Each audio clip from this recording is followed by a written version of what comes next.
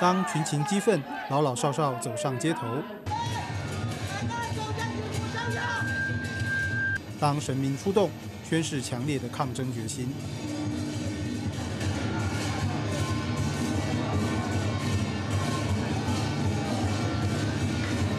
竹东沙坑村的居民为了抗议掩埋场设置，老老少少绑上头巾走上街头，让这个原本宁静的山村掀起一场巨大的风暴。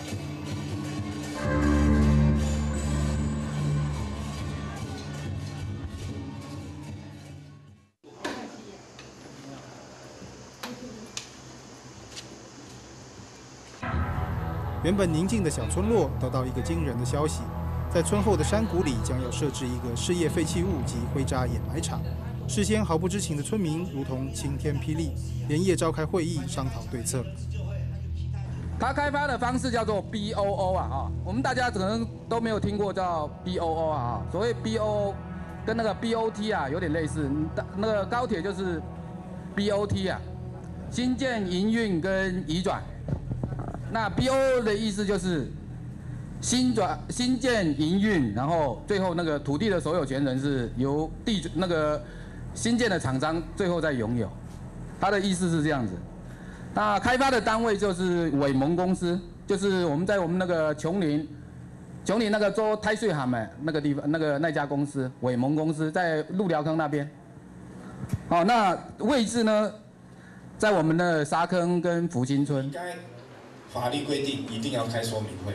所以一定有人签名，那签名的人呢，可能都不知道这个签这个名。村中的年轻人纷纷上台，告诉老人家们什么是掩埋场，并且质问乡公所人员为何村民对设置计划毫不知情。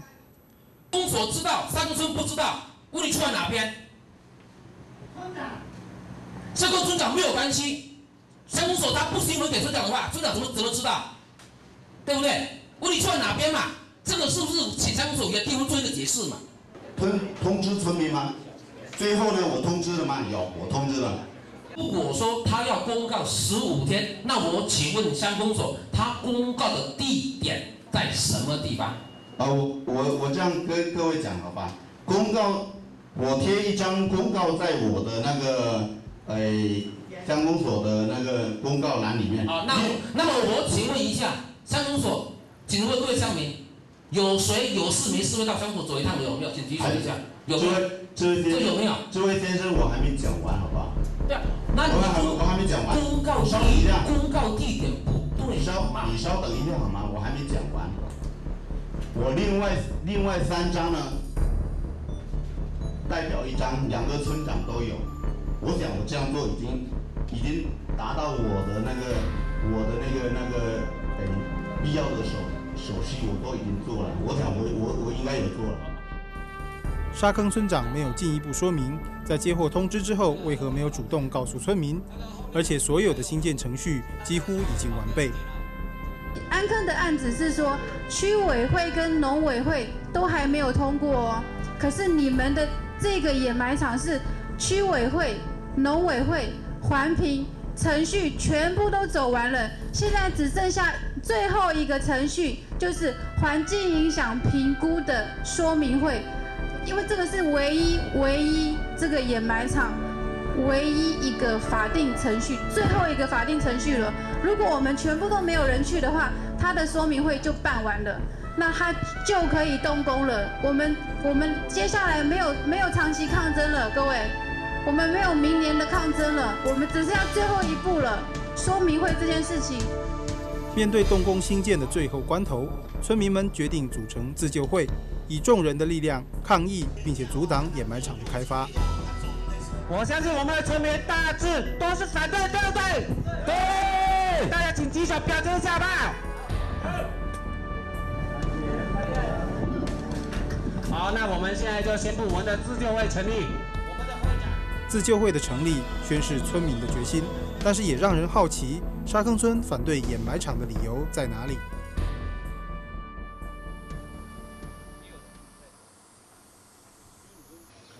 沙坑村位于新竹县横山乡，村中居民约有一千多人，原本是个宁静的小山村，百年来客家居民在这里生根发展。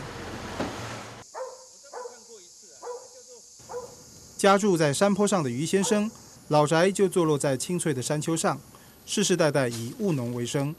但是他不懂，掩埋场就将盖在他家隔壁，为何始终都没有人告诉他？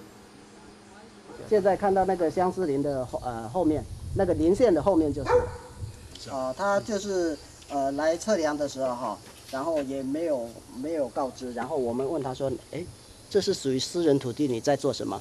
哦，然后他还讲说他在执行公务，啊，然后完全没有告知说他的用途要做什么这些。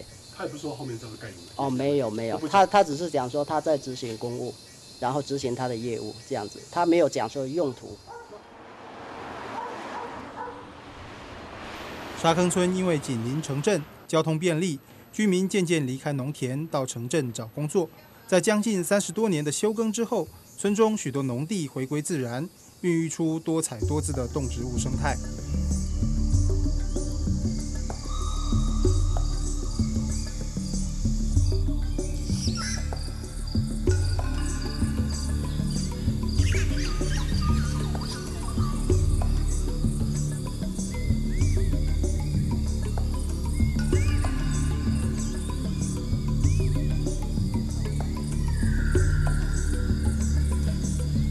掩埋场预定地的中心原本是一处灌溉用的皮塘，但是现在却成为充满自然野趣的湖泊。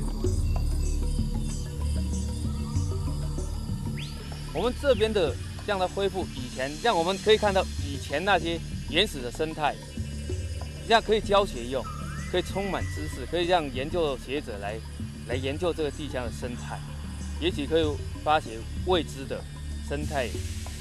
你都可以好像挖宝一样，可是你当那有毒的废弃物埋在这里来，你只能是消灭这些，你这些毁掉了，没办法以其他的办法恢复状态。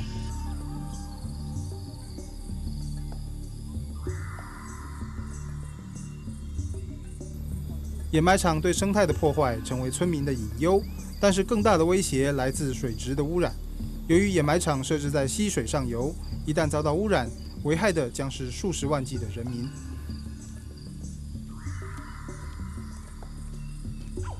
刚才那个掩埋场的那个地方流下来的下游哈，叫做呃那个叫新城郡哈，新城郡下再往下游流的话，会跟那个马武都溪交汇，在东光的地方交汇，再下来之后到我们这里的话，我们这个开始叫做凤山溪。那凤山溪的话，它的就是说有取水口的地方，在就是说就是关西的自来水厂的取水口。我们现在画面看得到的地方就是关西自来水的取水口。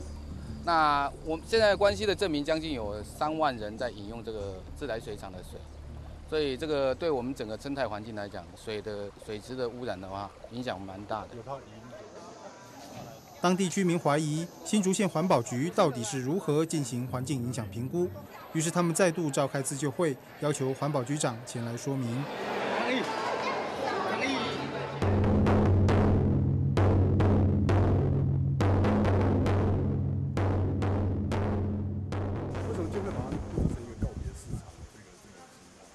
呃，这主要目的就是说，所谓告别式的意思就是再见嘛。回去了嘛，就是烟回家烟马场就再见，啊，主要表达意义在这边。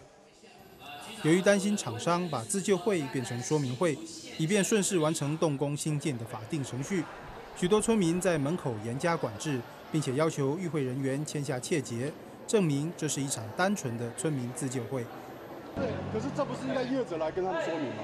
没有，这因为他要求我们居的，是他们要求的。哦，是村子里面的。对对，他们有这个声音出来去找县长。那我们本来也有意愿要说明，那刚好啊好啊，因为他跟县。为什么环环评之前为什么不说明呢？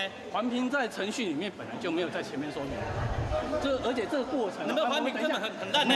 我们哈，我们的等一下一起说明好不好？因为这样。你现在说明，现在你现在今天是公开公听会还是说明会？没有，都不是。非法定的啦，上次我们讲过。我们讲过了。非法定的说明会跟公听会。彭三乡反对设置毒灰渣掩埋场，全民自救大会，大会开始。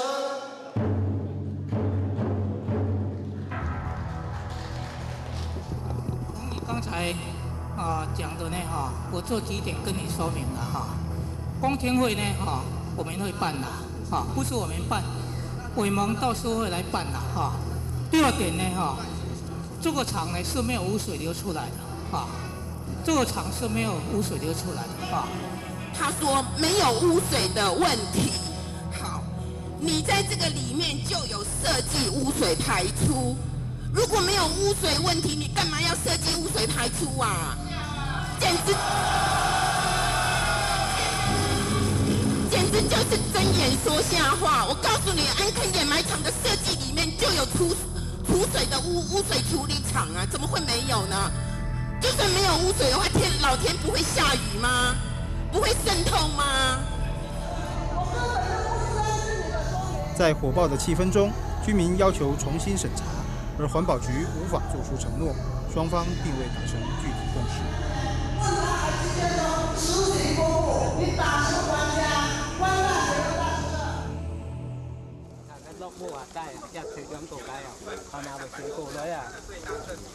面对村民的极度愤怒，新竹县长郑永金也到现场探勘，实地了解。他想讲掩埋场的问题，我才知道说，哎，掩埋场在这附近。而且造成这个自来水进口，这个局长，哎，哎，这这个有没有办法让他改善他这个？这个好像有一笔经费，我有有说要提一笔经费来，我不知道忘记了有没有提过来。县长前来探查，依旧无法做出承诺，只能要求改善饮水问题。但是时光流逝，事情完全没有动静，村民不愿枯坐等待，决定再往中央讨个公道。反对水源地设独灰渣厂！反对水源地设独灰渣厂！还我清清家园！还我清清家园！村子里的老老少少搭车北上，到内政部营建署抗议，希望在审核新建执照时从严把关。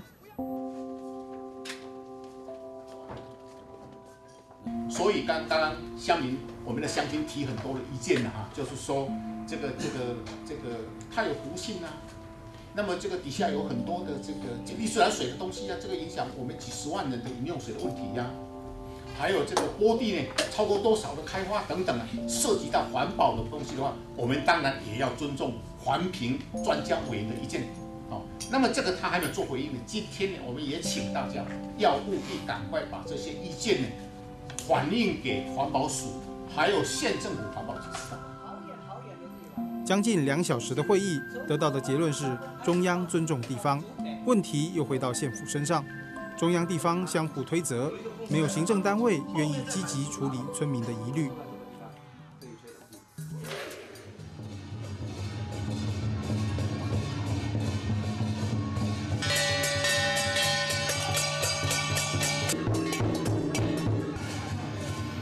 淳朴的村民更诉诸神明，请求神明主持公道。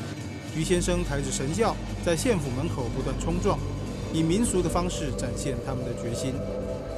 我们居民哈已经失去耐性了，所以我们只有到新埔我们客家人的信仰中心啊，然后请一名爷啊来替我们做主了。因为我们那个人射进去的话，我们只有死路一条，已经没有退路了，已经没有已没有退路了，我们就就是。抱着死路一条哈，然后就是整个引起我们就是民怨了哈，已经沸腾到极点了，我们不得不做出这个动作了。环保署从九十一年起，在台湾各地规划十个灰渣掩埋场 BOT，第一个案子是安坑掩埋场，结果被居民质疑环评过程出现缺失，进行强烈的抗争，甚至成为社会关注的环境保护运动。沙坑掩埋场很可能会继安坑之后，引发另一场风暴。政府今天不是我们不信任你，是你们政府不让人民信任。你们做了太多太多的事情。今天看你们前面这几页图，也包含了一些哦固化的要掩埋的东西。局长，你看到了吗？这个就是政府做的啊。那你怎么给我保证呢？那你怎么给我保证呢？面对庞大的体制，沙坑村民不知自己的未来将是如何。就如同他们不知道为什么在规划新建的过程中，他们始终被蒙在鼓里。在环保政策上，从焚化炉到掩埋场的新建，几乎每件都遭逢当地居民的抗争。这些冲突剧码每次上演，政府除了依法强制驱离之外，也该思考究竟在选址、环评、沟通的行政程序上，哪个环节发生了问题，让宁静山村的老老少少誓死捍卫家园，走向风暴。